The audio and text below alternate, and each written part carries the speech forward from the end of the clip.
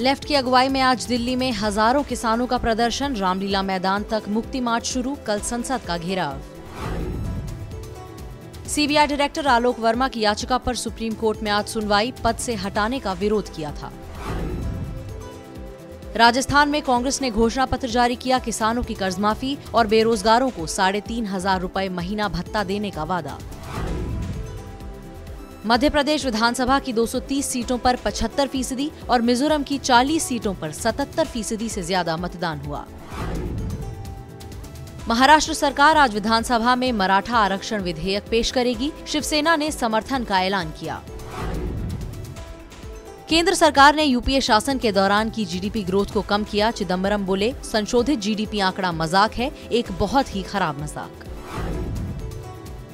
सिख विरोधी दंगों में दिल्ली हाईकोर्ट ने 88 दोषियों की पाँच साल की सजा को बरकरार रखा। कहा, पीड़ितों के लिए अपने करीबियों को भूलना आसान नहीं।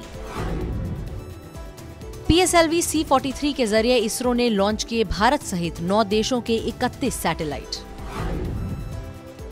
और हॉकी वर्ल्ड कप में भारत का शानदार आगाज़ साउथ अफ्रीका को पाँच शून्य से शिकस्त दी।